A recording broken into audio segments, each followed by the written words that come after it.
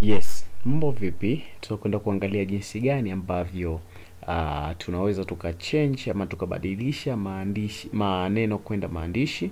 Yaani uh, let's say sasa hivi labda una kazi ya kutype kwenye kompyuta yako, so unaweza ukabadili sauti yako ama ukalikodi na kompyuta ikakusaidia yenyewe kuandika. Lakini kitu cha kuzingatia ili kuweza kufanya zoezi hilo, make sure kwamba unakuwa na kompyuta, na unapokuwa na kompyuta unakuwa na Microsoft Office uh, ambayo inakuwa na Microsoft uh, Microsoft Word ndani.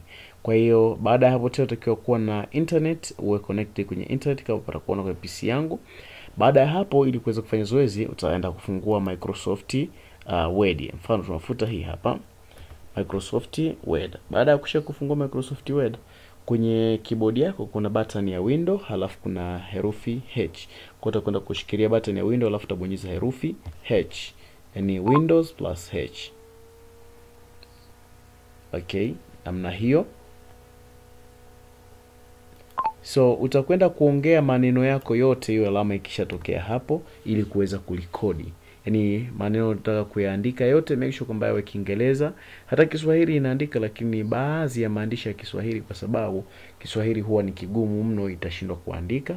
Lakini kwa watu ambao wamespecialize ama wamecustomize Microsoft Word zao, zinaweza zikatype na Kiswahili. So tutakwenda kujaribu Kiingereza sasa hivi. Tena tukabonyeze control uh, hii window na H. Iko tayari. Hello. Hello.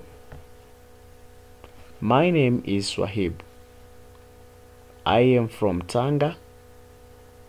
I am Tanzanian. In this video tutorial, I'm going to show you how to convert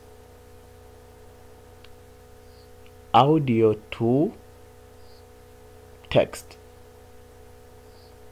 By the way, if you have no speed of typing, you can use this way. It is very useful. Make sure you subscribe my channel and turn the notification to make sure you get notification every single day. Thank you.